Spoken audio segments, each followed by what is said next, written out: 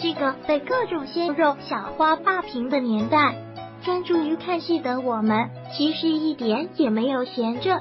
我们一方面要吐槽这个充斥着膨胀气息的社会，对于一秒火、二秒湖人表示不理解；另一方面，我们也不得不去寻找那些可以真正沉下心来创造优秀作品的演员，来慰藉自己的心。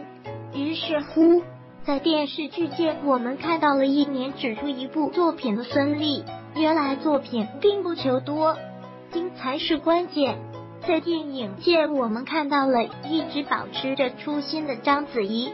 如果不是通过今年的一个节目，小健或许还不知道，原来章子怡是个如此纯粹、真性情的人。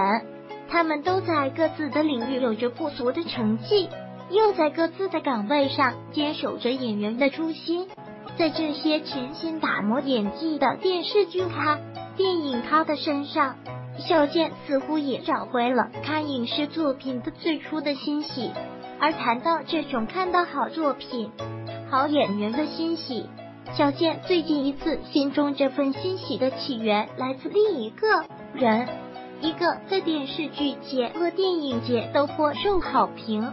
一个演技盖过名气的演员，万茜。小健最近被万茜小姐姐征服，是因为《三国机密》这一部电视剧，从颜值到台词，再到演技，什么叫全方位圈粉？大概就是这样的画风了。自从和福寿娘娘确认过眼神之后，我们便再也控制不住自己了。成为了屋里福寿娘娘雷打不动的后援团，在微博上保持整齐的队形，等着为福寿娘娘打电话。有人是因为这一脸攻气的长相，有人是因为这一百分的台词功底，有人是因为无形的撩汉教科书。小健只想说，只要是万茜小姐姐诠释的角色，我好像都容易喜欢上。一大帝王背后那个伟大的女人，说实话，以往在三国戏中，男人才是重头戏。可是，在这一部《三国机密》中，范熙饰演的福寿皇后，从一开始就自带圈粉利器。作为剧中汉室复辟的关键力量，范熙饰演的福寿皇后，收起了以往古装女性角色的那种唯唯诺诺。将难得一见的霸气和果断展现的淋漓尽致，一出场就自带攻气，冷峻的言语，肃穆的表情，分分钟禁欲系的打开方式。他聪明睿智，可以成功的将皇帝调包，完成复辟汉室的第一步。他心思缜密，目光长远，在这周的新剧情中，他悄悄的躲在后面监测郭嘉。一言不合就可以识破郭家的计谋，绝不让自己和刘平陷入敌人的陷阱中去。他心狠手辣，但知道赵一郎发现他们的秘密计划时，第一想法就是去拔刀，除之而后快。这一刻的万茜眼中满是杀戮的欲望。或许对于那个时候的福寿来说，什么都比不上复辟汉室这个目标伟大。她不再是那种儿女情长的小女子，相反，在她的身上有着男子都少见的果断和毅力。然而，这个在外面看上去需要撑起一切的女强人，偶尔流露出的小女人性情，才是真正我见犹怜。当任性的刘平一走了之之后，需要暂时强撑。其整个大局的福寿，更是展现出了常人难有的冷静。指挥下人把金剑的大臣打发走之后，福寿终于忍不住，所有的委屈和不容易都在眼泪中了。在福寿的心中，他可能也不知道什么时候开始那么在乎刘平了。或许是因为刘平的善良温暖了他那早已冰冷的心。亦或是他渴望在刘平身上找到先帝的感觉，但不管怎样，福寿开始在意刘平的一点一滴。他会在看到刘平和曹操女儿走得近时，狠狠的吃醋。把所有的不开心都流露在脸上。她也愿意在夜深人静之时和刘平倾诉自己的心事。这个原本应该和丈夫恩恩爱爱的女子，最终却因为步入宫门后，改变了原本应该平淡的一生。这个时候的万茜眼中是回转的泪水，她不愿意让眼泪流出来。或许这就是要强的福寿最后的一道尊严防线了。在遇见这个和先帝不一样的刘平之后，小静感觉福寿的内心应该是受了触动的。现在的他似乎开始学会展示自己小女人的一面，时不时的关心一下刘平，时不时回忆一下往事，甚至连许久未碰的情都被重新拾起来了。这样的福寿，从眼神到姿态，既是一个霸气冷酷的皇后娘娘，其实也是一个多情缠绵的小女子。范西将这个角色的不同面都展现了出来，让我们在折服于她的霸气之时，也会感慨于她的不容易。或许万茜就是那种命中注定做演员的人。对于万茜。他应该是属于小贱人识范围中为数不多的。看过他很多作品，但经常会想不起他叫什么名字的人。相比于那些成天活跃在头版头条上的明星，万茜这个明星身份对比之下就有点假。仔细看来，人家并不缺拿得出手的作品，可他却很少借自己的一部作品来放肆吹捧自己。来让自己被更多的人认识，就像婉琪自己在接受采访时提到过的一样，并不是自己想红就能红。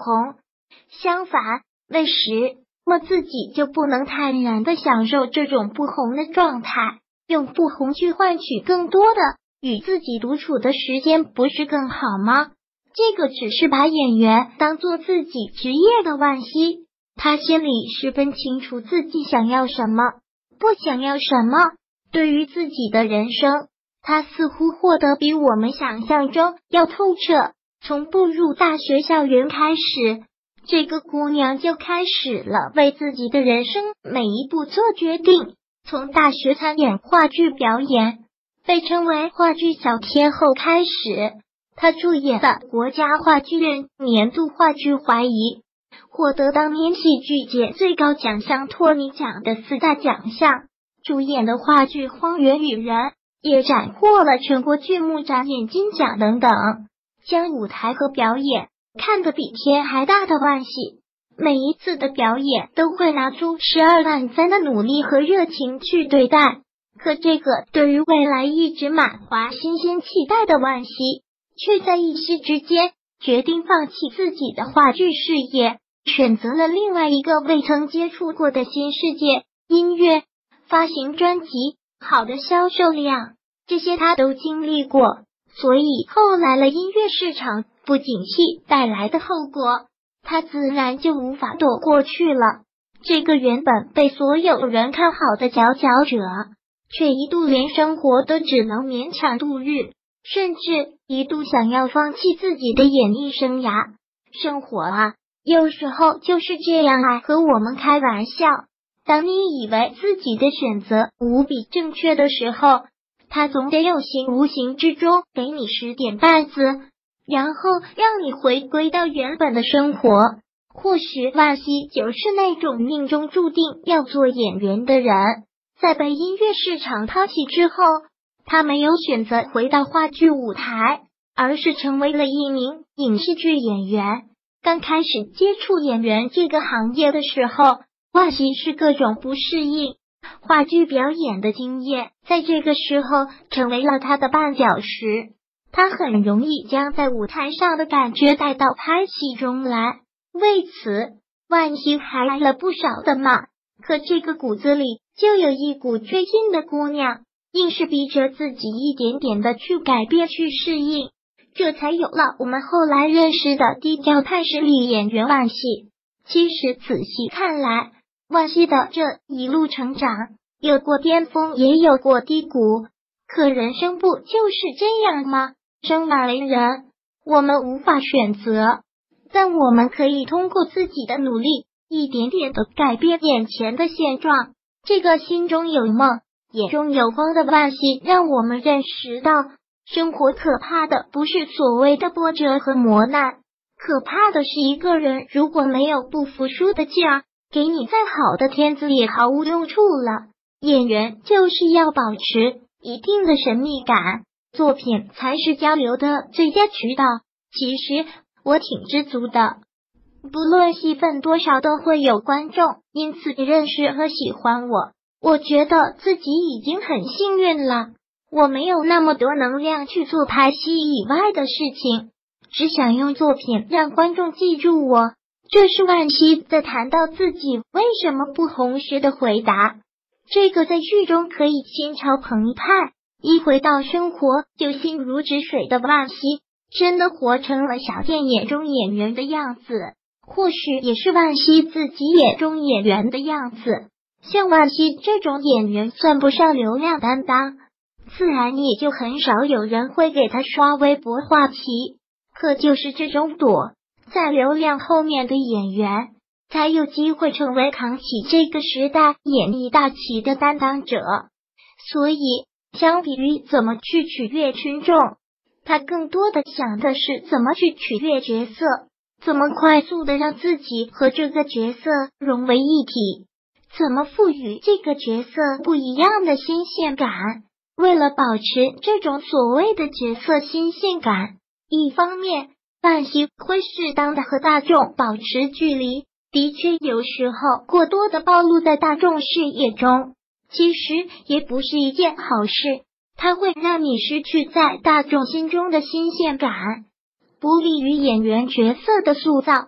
另一方面，万茜也会让自己不断的去尝试新的角色，从秦淮明艳柳如是到军纪倪妮，再到叱咤风云的女将军独孤静瑶，心怀汉室的皇后福寿，万茜总能赋予每一个角色不一样的感觉。让你在看到他塑造的每一个角色时，都有一种怎样的感觉？这个角色似乎正是为万茜独身打造的。电影《柳如是》中，他是一个色艺俱佳、志向高洁的歌妓，一颦一笑都足以让人拜倒在他的水流裙下的柳如是，浅浅一笑时清纯明媚，而只要在这笑容中稍微掺杂一点不一样的情绪。撩人的性感和妩媚便呼之欲出了。万茜成功的将柳如是千娇百媚的感觉完美诠释了出来。而二零一四年钮承泽导演的《军中乐园》中，万茜饰演的倪妮给人的感觉更是眼前一亮，尤其是那一张剧照，短短一眼却看尽一生的感觉。万茜同样也凭借在该片中的精彩表现，斩获金马奖最佳女配角。电影《你好，疯子》中，她一人诠释七个角色，一个镜头中随意的切换，既可以有男人豪爽的一面，也可以有女人妩媚的一面。而在电视剧中，万茜同样有不俗的表现。正在拍摄的《为官正年轻》中。范希饰演薛小兵，和之前在我家游戏中搭档过的李佳航再次合作，两人再次上演别样的军旅之恋。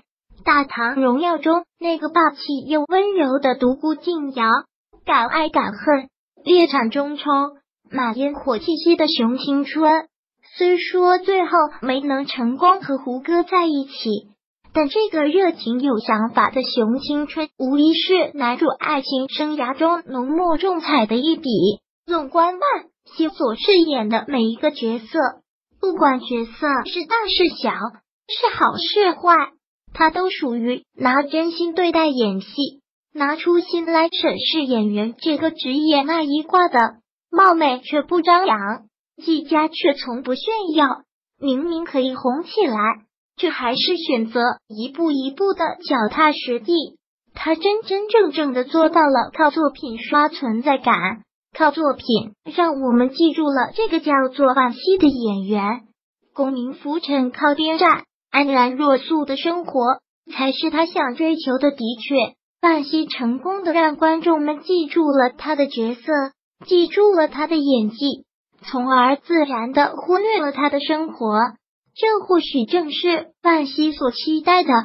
所以，当前段时间她发微博说自己生下女儿时，大家都觉得不可思议。是啊，这些年来，我们认识的好像一直是演员万茜，而不是明星万茜。在这个被舆论操控的年代，我们理所当然的认为，不活跃在热搜榜的明星，自然是不红的。可万茜似乎很享受这种不红的状态。经常在知乎上回答各种冷门的话题，比如说哪里可以吃米粉，比如说手机被没收咋办。好在对于不红，万茜更多的是享受不红生活带给他的自由，不需要做那个万众期待的万茜，无论什么时候都只需要做自己。这对于经常饰演别人人生的演员。应该是一种十分奢侈的享受了。生活中的万茜其实就是一个文艺小清新，他会在闲暇之余自己弹一下吉他，或者是自己简单的画一幅画。其实就是这样子的简单生活，对于万茜才是最满足的。他把演员这个职业带给他的功名利禄看得很轻很轻。一方面，他不奢求这个职业带给自己多大的光环；另一方面，他也希望这个职业尽可能小的影响他的生活。